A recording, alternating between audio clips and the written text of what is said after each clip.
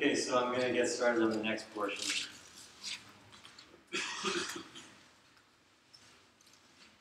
So if you if you ran uh, the code, um, you would notice that it doesn't actually work very well, and uh, it's actually quite hard to get uh, to get very good results from um, from policy gradient methods. Uh, meaning that um, they usually take a very large number of samples. You have to uh, collect a very large number of samples, or otherwise uh, you might end up um, having a, a, drastic decrease in performance. Um, oops. So they require a lot of samples, and second, it's hard to set the step size. The step size is a kind of arbitrary parameter, and sometimes if you set it properly, um, if you set it properly at one phase of the problem, I mean, you set it so it's going to work at the beginning of the learning process, then it's, uh, it's not working that well at the end of the learning process. Um, so, so those, um, it ends up being kind of hard to make uh, these kind of methods work. And actually, for a long time, people thought that policy gradient methods uh, weren't, weren't actually any good for large-scale problems. And um, then they started to realize that you actually, you can get them to work, but you have to use a lot of tricks. Um, and uh, some of the tricks are these variance reduction tricks that I talked about before, but um, the other set of important tricks are, um, are to do something uh, better for the optimization, rather than just computing the gradient and moving in the gradient direction.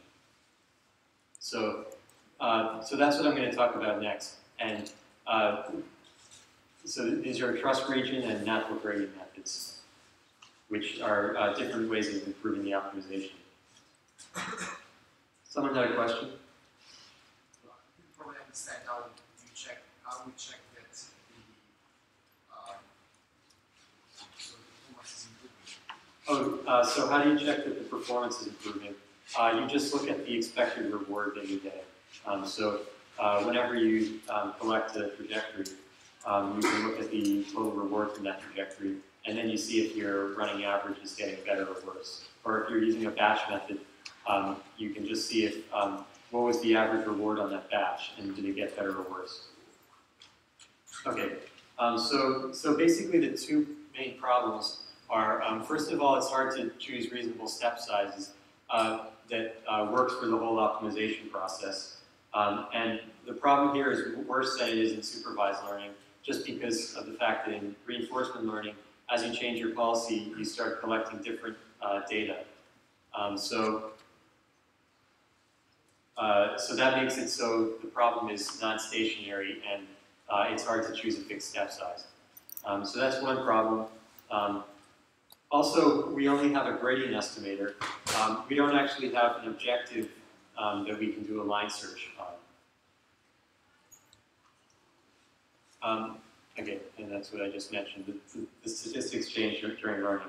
Um, the other issue is that uh, they are not very efficient with samples because uh, each, uh, each trajectory or each experience uh, is only used once to compute one gradient. So you're collecting a bunch of trajectories and then you use those trajectories to compute one gradient estimator and then you take a step in that direction, but you don't do anything else with your data.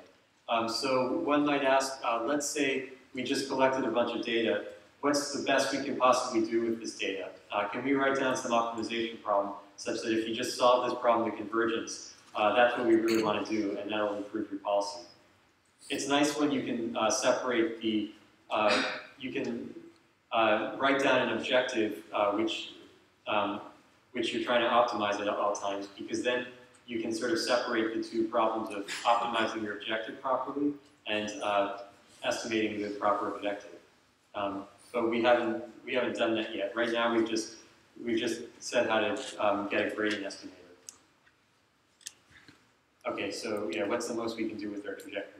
So these are the two issues, and um, so so now um, what I'm going to try to, what I'm going to work towards over the next few slides is, um, is how to write down an objective uh, that we can optimize, and that um, when we optimize it, we'll make an improvement to the policy. So, so I want to write down an objective for policy optimization. Um, so that after you collect a batch of trajectories, you can just optimize that objective. Okay, so let's, let's first think about the performance of a policy. Um, so eta of pi is going to denote the performance of the policy, which is just its expected return. And um, there's a needed identity that it satisfies. Um, so uh, normally we would have to write down, um, we could write down uh, one expectation that tells you the performance of pi tilde, and another expectation that tells us the performance of pi. But then there's this neat identity that shows how to relate the two, um, involving only one expectation. And um, the interpretation of this formula is um, you just add up how much um, better does pi tilde do um, at each step of time, and you add up all of those. Um, you add up all those terms. So you say, what if we just? I mean, how much? How much better is pi tilde than pi at time step zero? That's this first term. And the second term is how much better is pi, uh, pi tilde on time step one, and so on. That's the interpretation of all these terms. Um, so you can prove this identity. Um, I won't go into the details, it's pretty easy to prove. Um, but the point is just that we have to add up a bunch of, we have to add up a bunch of advantage functions. And uh, that'll tell you how much, um, how much better pi tilde is than pi. So, so we have this identity for the performance of the policy pi tilde, which is based on looking at the advantage function. Um, then we can do some uh, manipulations on this identity. Um, so the problem is, uh, well, the problem is we don't know what to do with this. Uh, I mean, we can look at this, uh, I mean, we don't know what to do with this formula. This formula isn't going to help us optimize pi tilde. I mean, what we're trying to do is we want some kind of formula, some kind of objective involving pi tilde that we're going to be able to optimize. But this formula doesn't work, and the reason is, let's say we break up this expectation into uh, the expectation over states and then the expectation over actions given those states. Um, well, the states depend in some really complicated way on pi tilde. So this expectation is over trajectories collected from pi tilde, and the state distribution that's reached by the policy pi tilde depends on pi tilde in a complicated way. And that's why, um, that's why it's, we don't know what to do right now. So the way we can do this, so, so here we, we can't do this because um, the state distribution has a complicated dependence on pi tilde. And um, so we can define a local approximation. We can define a function called L sub pi, uh, which is a local approximation to um, eta of pi. So, um, so eta of pi is what we're really trying to optimize, but we can write an approximation that's good right around pi, but then becomes bad when you move too far away from it. Um, so, so the way we make this local approximation is we just ignore how the state distribution uh, depends on policy. So, um, so in this approximate, in this local approximation, on the outside we have an expectation over states that are collected from our pi, which is our old policy, which this is like our reference policy that we're trying to improve on. And then uh, we have an expectation over actions coming from the, uh, the new policy, pi tilde. So basically, let me just make, uh, let me just emphasize that what we're trying to do here is we have this policy pi, and we're trying to improve on it to get a better policy pi tilde. So what we're going to try to do is write down an objective, um, an objective function uh, that's a function of pi tilde and tells us um, some estimate of how good pi tilde is.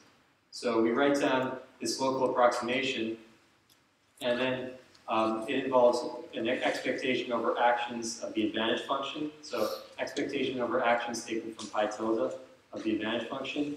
And then we can um, use importance sampling to write it as a ratio of probabilities.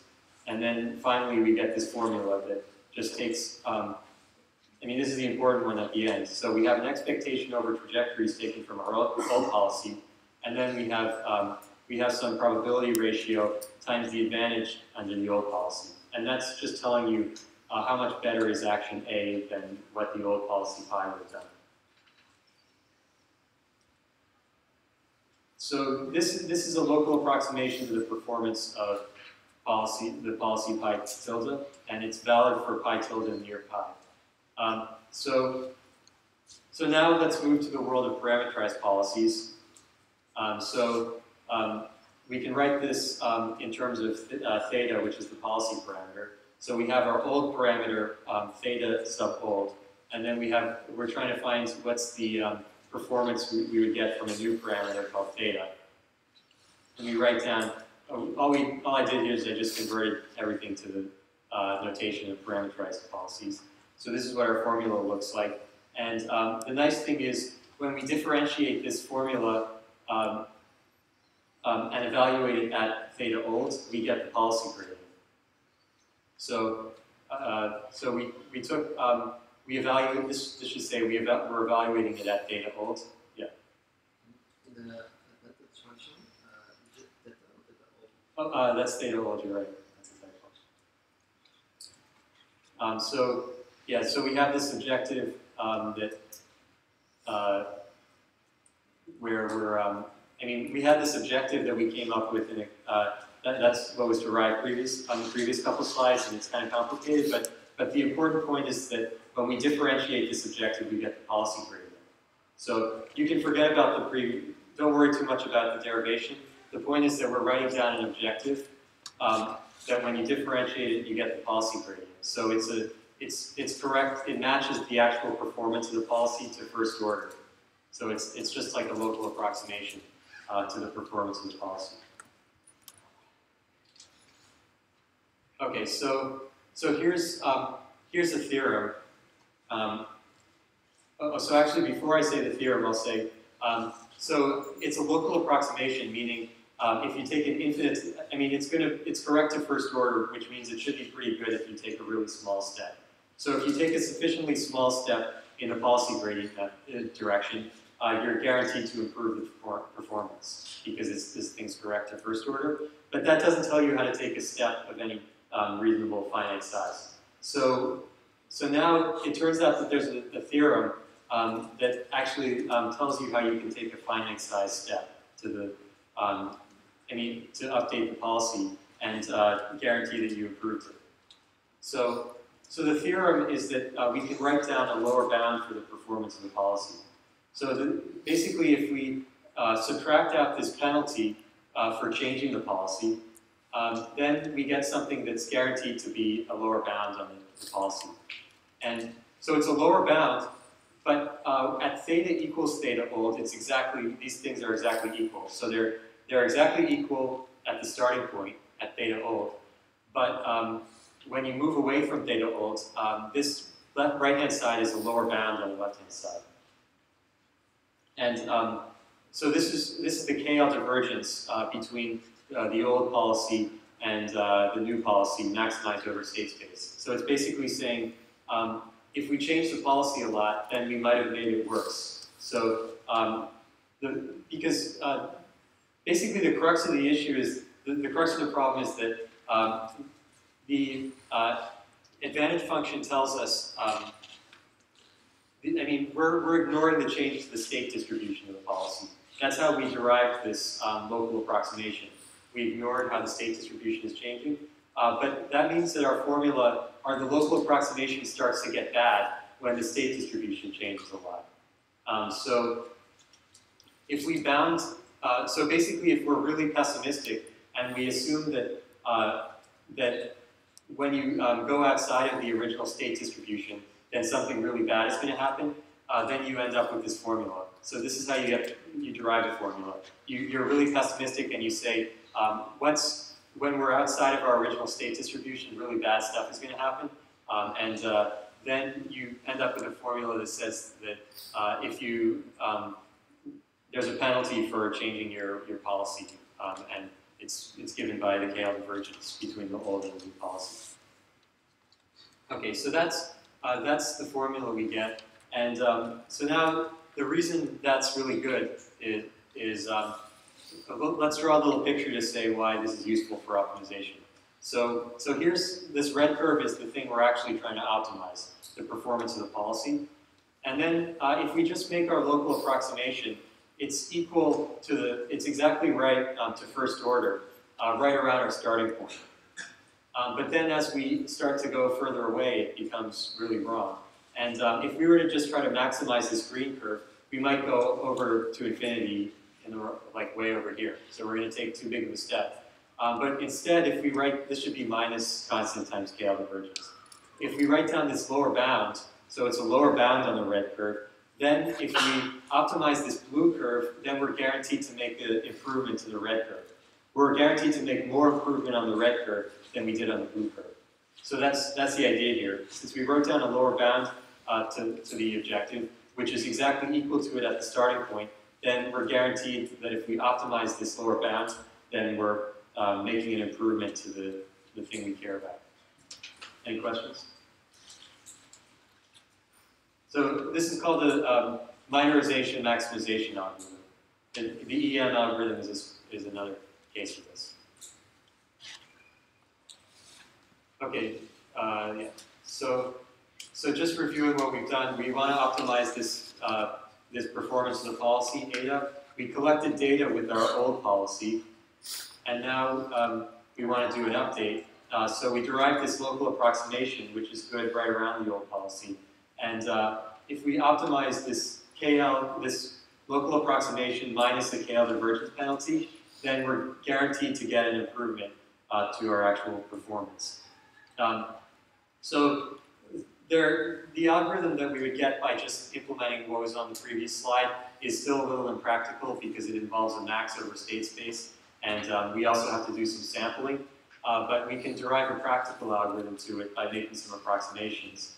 Uh, so instead of taking a max over state space, we take a mean, and there's some justification for that. Um, we make a linear approximation to the objective and a quadratic approximation to the KL divergence in order to compute a step. Um, though we're still going to do a line search on the original problem. Um, and then we can use a hard constraint on the KL divergence instead of a penalty. Um, because it's hard to set a penalty coefficient um, because it's not really interpretable. Um, because we have this reward, um, yeah, we have reward and we're trying to trade off between that and KL divergence. It's not really interpretable. Uh, whereas if you have a fixed value for the KL divergence, well, that's, um, that's a unitless quantity that's easy to interpret. It's just um, the KL divergence has units of bits. So it turns out that you can um, choose a particular value for this parameter that works on a whole wide range of problems that, are, uh, that have just really widely different dimensionalities. Um, so, so that's, those are the changes. So we're going to solve this problem approximately where we're maximizing our um, objective subject to a KL divergence constraint, and uh, we can do a we can solve this approximately using um, by doing the quadratic and linear approximation, and then um, that gives us a search direction, and then we can do a line search in that direction. So so what we do is we collect a batch of data. Um, we then we plug in all the data into these um, into these formulas. Uh, I'll talk about that on the next slide, and then we're going to do a line search. And this natural gradient was actually proposed a, a while back by uh, Sham Kakade, but it um, didn't take off for a while. Well, actually, I should say it's been used a lot. It's, and people have used it recognize that these kind of methods work a lot better than just regular um, uh, policy gradient methods. Okay, so let's see. Oh, I didn't say anything. Okay, so so basically the, the way this works in practice is you collect a bunch of data with your old policy, you um, collect estimates of the advantage function, and um, then you plug them into this this function, this uh, objective, and also the KL divergence, and then you're um, uh, then you solve that optimization problem. So so that's this algorithm called TRPO, um, and uh, so this um, so this is some work that my colleagues and I did. Um, we used it with neural network policies. So, the, so for a uh, discrete action space, um, if you have a neural network policy in a discrete action space, like these Atari games, um, so in the Atari games you have like uh, 10 moves or so, and it's like left, right, fire, um, so on. And uh, you get images, screen images as input, and so we, we had a, a, neural network that takes in the screen image and it outputs the probability of all the actions. Um, and then for the continuous control tasks, these are uh, 2D robots that are supposed to swim, hop, and walk. And there we have a neural network that outputs the mean over mean of a Gaussian distribution, and also has parameters for the standard deviations. Um, so, oh yeah, so that we applied them to these tasks um, in that work, and then uh, so we also um, later applied it to uh, generalized advantage estimation. Uh, I mean, we applied it to 3D robot tasks uh, with also using this uh, generalized advantage estimation, which was the variance reduction technique I talked about um, in a previous slide.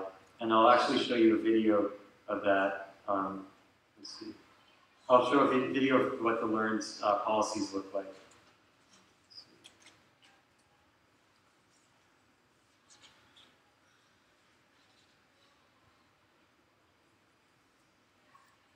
Okay, so here um, we're just showing what's the policy doing on each iteration. So we have this humanoid robot, and uh, the reward function is just to um, move forward as fast as possible without falling over. Um, and uh, it just has like 15 um, different uh, torques that it can control, and it's controlling its torques at about 100 hertz. So it's pretty high frequency. This is just raw, like um, it's taking in the joint angles as input. There's a neural network taking in joint angles as input, and then outputting the uh, outputting the joint torques um, at 100 hertz. So there's basically no information given to it, and uh, it just uh, figures out how to walk um, pretty stably. And then you can also apply the exact same algorithm just on some other random robot model. Um, like uh, this is just this four-legged robot that my colleague Philip uh, made, and uh, it's um, it just figures out how to make this thing walk. And you don't even know what it's going to do before you run the algorithm. So like when you come up with one of these, it's kind of fun because you have the um, like you just come up with the robot model and uh, you don't know if it's going to walk the way you expect it to walk, and usually it doesn't. So, so this thing figured out that it should turn sideways and like use one as the head and one as the tail. Okay, so you can also we just there we were applying it to learn how to walk, but you can also teach it how to learn how to stand up off the ground. Uh, so here you just give it a reward function based on how high its head is above the ground, and uh, it just figures out what to do.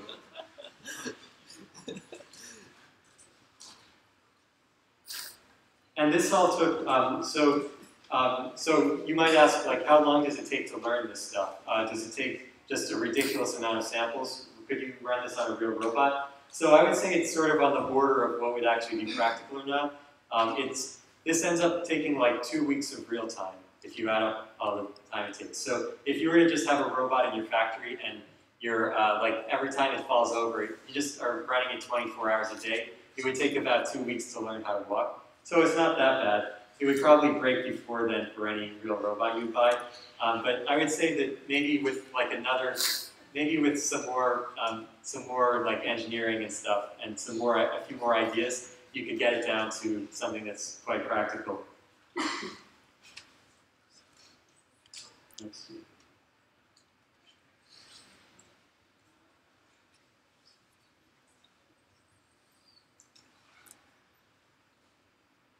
Okay, so so now I'm gonna um, I'm just gonna try to put this um, this stuff that I've just been talking about into perspective, into and talk about uh, how does this fit in with all the other methods that people have proposed uh, for doing this kind of reinforcement learning, and um, and then I'm going to talk about some open problems in reinforcement learning. Um, so we've been talking about one particular line of work. So this line of work is uh, how do you take policy gradient methods and just um, just make them work a lot better? So you take um, so first of all you do lots of variance reduction and then you try to make the optimization work better by using these trust region ideas. So that was this one that was one line of work, um, and and I showed you some results um, that my colleagues and I got doing that. Um, actually, people have also so there is also some work at uh, from DeepMind. Uh, this paper um, called async, uh, where is it? Um, did I cite it? 14. Oh yeah, uh, well I gave the wrong citation here, but uh, there's a paper called Asynchronous Methods in Deep Reinforcement Learning. So they actually show that if you use a regular policy gradient method, you can learn some uh, fairly complicated tasks um, uh, if you just use it, if you just crush it with a lot of samples. Um, so uh, so I guess that's a proof that it's actually possible um, if you just use a huge number of samples. Um, let's see. Uh, so then, and there's also this reparameterization trick, uh, still sort of in the framework of policy gradient methods, but, but it has a little bit of a different flavor. Um, so that's what we've got in the world of policy gradient methods. Then there's also a bunch of work on uh, Q-learning. Um, that's a totally different kind of algorithm that I haven't talked about, but uh, this algorithm works um, by just uh, trying to learn the Q function. So I talked about Q functions a little bit, um, and Q-learning algorithms uh, work by, instead of just trying to um, optimize a policy really well, they try to get a really accurate Q function. And um, if you have the right Q, if you learn the perfect Q function, then you automatically get a perfect policy. Um, so that's, that's a different kind of approach, um, and there's been some nice work on that, uh, mostly on the Atari domain, not so much on robotics or other kinds of tasks, um, because it seems to have some trouble with uh, continuous action spaces or um, other kinds of state spaces, or certain kinds of input spaces.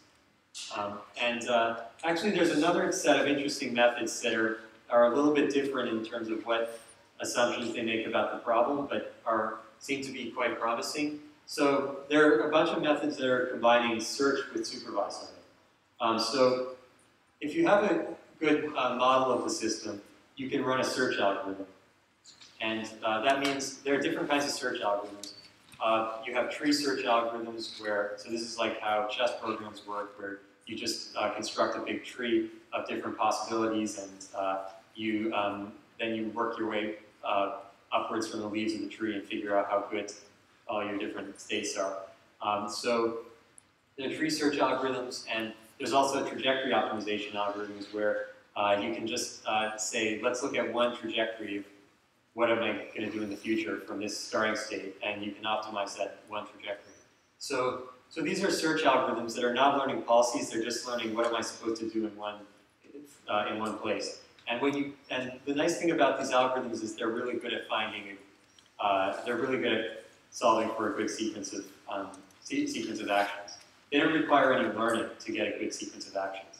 So, uh, so there have been a bunch of uh, nice works using um, combining search and supervised learning. So, so one, so there was a, a nice paper that uh, used uh, search. Um, they used a tree search um, to learn how to, to, I mean, to play Atari, and then uh, they trained a policy. Uh, so basically, the way they work is you run a search algorithm to gather a bunch of training data, and then you just use supervised learning to fit a policy uh, to that, um, to basically to the um, actions that the search was choosing. So the search gives you like a really good action at each state, and then you just use supervised learning to train on, on that. So yeah, there are a bunch of um, works doing that, um, either using tree search or um, using trajectory optimization.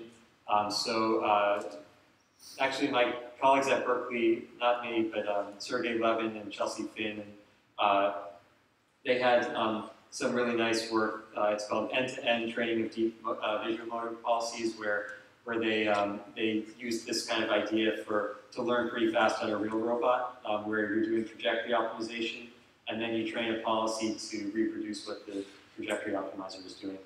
And um, and then there was some other work by uh, Igor Mordatch, which is um, which which is also using this idea in a different uh, set of problems. Um, so yeah, this, these kind of methods make a slightly different kind of assumption about they, they use some more, um, it's a little less general in what kind of problems you can apply it to, but it seems like uh, it can be quite good on, in the problems where it does apply. Let's see. Okay, so that's sort of what's out there in terms of uh, just different deep RL algorithms. This isn't like everything that's happening in deep RL, but this is just um, to just give it the spectrum of different algorithms out there, um, like as your basic algorithm. Um, so um, what are the open uh, problems in uh, that I see? This is um, just my own uh, opinion here. So, so one question is just what's the right uh, core um, model-free reinforcement learning algorithm? So all these algorithms I've talked about so far, with the possible exception of the last one, uh, with the search plus supervised learning, are model-free algorithms, which means that they don't really have a model of the dynamics of the system. They don't try to learn anything about the, the system. Uh, they just uh, they just sort of work by uh, collecting lots of um, they just collect lots of um, lots of data and try to improve the policy or improve the Q function. So there's another. So basically, what's the right core algorithm to use? And we have policy gradients versus Q learning versus um, the kind of algorithms I was talking about at the beginning, these derivative-free algorithms. Uh, so it's not clear right now which which of these methods is going to win in the long run.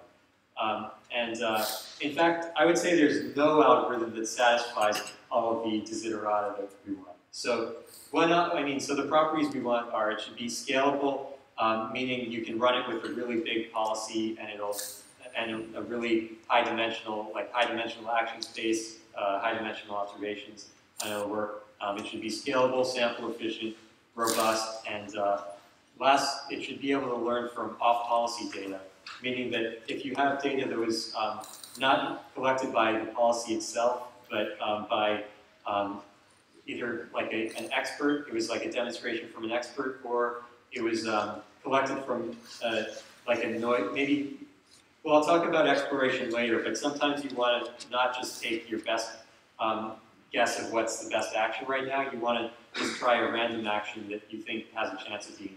So, um, so you want to be able to learn from data that wasn't collected from your policy um, for, for a number of reasons. And I would say that the, um, yeah, none of the methods uh, that are out there right now really, I would say none of them really satisfy these properties. They all satisfy some of them, but not all of them. So for example, the policy gradient methods, uh, the regular policy gradient methods don't really, um, well they are, I would say they're definitely scalable, um, they're not very sample efficient, they're not very robust, and they can't learn from off-policy data. Then I would say the TRPO is more sample efficient and more robust. It's less scalable though because um, it happens, there's, there's something weird going on when, where you use like a, a bigger um, neural network as your policy and then performance gets worse. So, so I don't totally think it's, uh, it's as scalable as it should be and it doesn't work off policy. Um, Q learning is, uh, works a little bit off policy but not really. Um, so, and it's not really that um, robust. It's a little more sample efficient than policy gradients, but so there are a bunch of trade-offs, and I would say none of them are really um, good enough. Okay, so that's that's just the core algorithm, but then there are a lot of other issues that are sort of orthogonal or partly orthogonal to that. Um, so one big one is exploration. Um, so the idea is um, when uh, so the idea of exploration is to um, you you want to um, actively um, encourage uh, the agent to reach unfamiliar parts of state space. Um, so if you if you just run any of these RL algorithms, you'll find that it often just gets stuck in some bad local optimum behavior.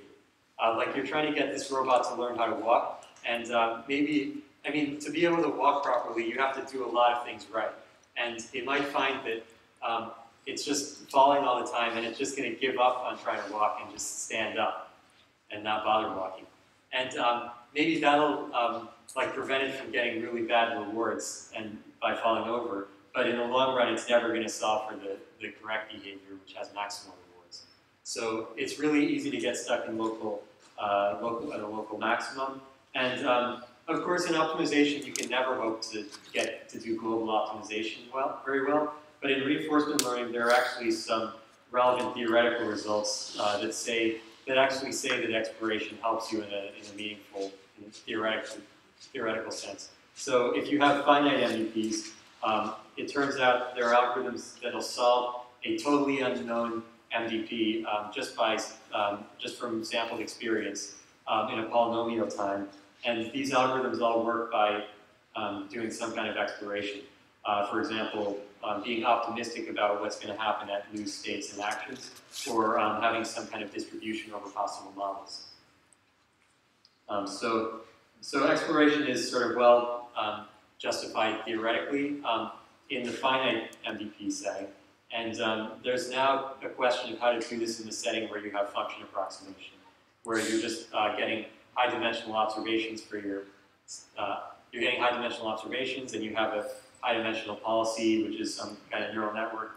Um, so, so there's a question of how to, how to have robust and effective exploration strategies in this setting. Um, another big problem is um, how to have a hierarchy. Um, so here's what that means is um, we would like to have, uh, there are lots of different time scales where you might want to choose actions.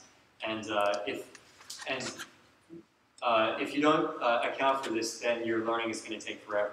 So um, if you think about uh, like a typical robot or um, some kind of uh, something acting in the real world, uh, they're going to be uh, just, you have to account for dependencies over millions or, or more time, like just a, a large number of time steps. So you, you might, for a robot, you might want to do torque control at like 10 million, at 100 hertz, which is 10 million time steps per day. And then you're planning footsteps at about 100,000 times steps per day. And then maybe you have high level actions like walk to some location or fetch some object uh, uh, at several th a thousand per day. And then, yeah, then at the highest level you have tasks like I'm going to go do this and I'm going to go do that, and so on. Uh, so if you were to just try to solve it at the, this finest uh, granularity, um, then um, it would just be way too hard because of this uh, delayed reward problem. Uh, like your estimate, like your policy gradient, if you use a policy gradient method, your policy gradient estimator is just going to have huge variance because you're just confounding together the effect, effect of 10 million actions. So that's not going to work. And it seems like you should be able to do some kind of learning on many different timescales at once. Um, but how to do this in a generic way where you actually learn the different um, high-level actions, uh, no one's really uh, proposed a plausible way to do this. Um, there's been lots of different ideas, but no one really figured out how to learn the different uh, high-level actions um, from scratch. Okay, and then I'll just mention a couple briefly. Uh, so one is using learned models um, to just, uh, so using, um, so I've just talked about model-free reinforcement learning. You can also do model-based reinforcement learning, where you're also learning a model the system, and, um, and then you're using that model for planning or to speed up your learning somehow. And um, there's a lot of reason to believe that those model-based methods could be really sample efficient. Um, because if you think about um, what you do as a human, um, you, you usually don't have to learn uh, a lot of things by trial and error. Sometimes you can just get it right the first time by thinking through what's going to happen. Uh, like um, maybe uh, you have to get, um, you, uh, you need to um, buy some more, you need to buy some more tomatoes and you, you're not sure, you have to decide which supermarket to go to and then you have to then you don't have to like go to all the supermarkets um, or go to all the stores in your neighborhood before figuring out where to go. You already have a model of the world where you know like which stores have tomatoes in them, uh, so you can use that model to just do the right thing the first time. So it's there's good reason to believe that models should help you uh, learn a lot faster, but um, there's a question of how to do how to use those use learned models in uh, deep reinforcement learning, where these are like you're using really flexible function approximators for your models. Uh, okay, and another um, question of uh, another current research topic is how to learn from demonstrations. Um, so uh, you can somehow um, use uh, some demonstrations of how to perform a task and then, then run a reinforcement learning algorithm that takes those in somehow and then fine tunes your policy, which will hopefully achieve, the, use those as a hint and hopefully achieve the same result. Um, so that's, that's it. Uh, thanks for your attention.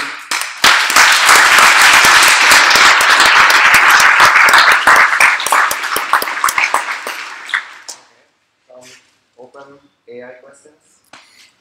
Still? Uh, let's see. Yeah. Yeah. Uh, yeah, I, I've heard people justify Q learning as being an off policy algorithm. Yeah. You, uh, just said panel wasn't.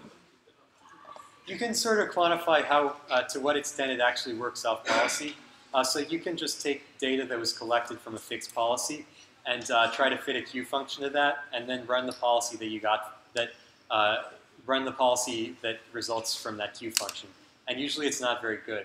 Uh, so so that means that it's uh, it's it's not really um, yeah. In practice, it doesn't seem uh, that Q learning uh, is able to use off policy data very well. Actually, another thing that people have tried is uh, you have a demonstration of how to um, succeed really well at the task. and you include that in your data that you're fitting the Q function to. So you would think that the Q function would just uh, would be able to use that demonstration data and do really well, but empirically it just uh, doesn't happen. So it seems like empirically it doesn't actually work off policy, at least in the function approximation setting. I'm curious about the line search and the approximation of the lower bounds when you have function approximation like neural networks. Mhm. So it seems like these neural networks, all the like good optimization methods are, are based on the momentum. Mhm. And how this compares to momentum. Okay, yeah, so uh, The Yeah, yeah. So the question is um, on. So I uh, proposed to do a line search for uh, for this uh, trust region algorithm, and um, but it seems like uh, all the effective optimization methods people use for neural networks uh, use momentum. Uh, so and they don't use line searches. No one uses line searches for neural networks. Yeah, so that's correct, and I would say um, I would say it, it does work. It, I mean, doing a line search works, and uh, and since this is a um, because of the the natural doing a natural gradient step, you sort of reduce the need for momentum because um, you're. Uh, I mean, uh, you're getting a good search direction from it's it's, it's a second order method. Um, well, it's sort of a second order method, and uh, momentum sort of brings you closer from a from a first order method to a second order method, where it reduces the effect of poor conditioning, um, and this also reduces the effect of poor conditioning in a different way. So, uh, so I would say that um, since you're using, since it's a second order method, that reduces the need for momentum. On the other hand, I would say it's not ideal that you have to do this line search for a neural network because uh, then you are prone to overfitting on your, your current batch of data. There was a question over you gave a list of things that you think that winning the three personality algorithm should do. Yeah. Uh, there's two more I'd like to get your opinion on. Okay. Uh, one would be the ability to interpret the decisions that are being made. Yeah. And the other one would be the ability to sort of transfer between domains or compose these models some interesting Yeah. Okay. So the question, so the proposal was, uh, we want uh, we want to add uh, two more desiderata to what the ideal model-free RL algorithm should do. So first, it should be interpretable, and second, you should be able to uh, transfer between domains. Uh, so yeah, I agree. Um, I, I agree with both of those. Well, I think for interpretability, that might be a property of the function approximator, largely instead of the algorithm. But on the other hand, it's also possible that the algorithm would give you would tell you something like uh, if, if it model, it might think this action is good because here's what I'm going to do next. And then the other one is uh, uh, having um, being able to uh, being able to compose these things together. Um, I think yeah, that's. Uh, I think to some extent you should be able to do that uh, with any of these methods because uh, you, you should be able to learn a uh, well you should be able to transfer a policy from one domain to another. Uh, for I mean, people have actually done this to some extent. Um, for example, on Atari, to get the policy to play multiple games. Um, but but yeah, you're right that maybe that that's something worth thinking about. Any other questions? Okay, so let's thank John for, for his lecture.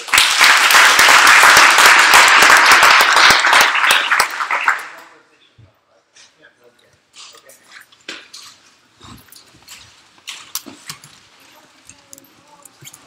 So do, do you think you right like you know this line search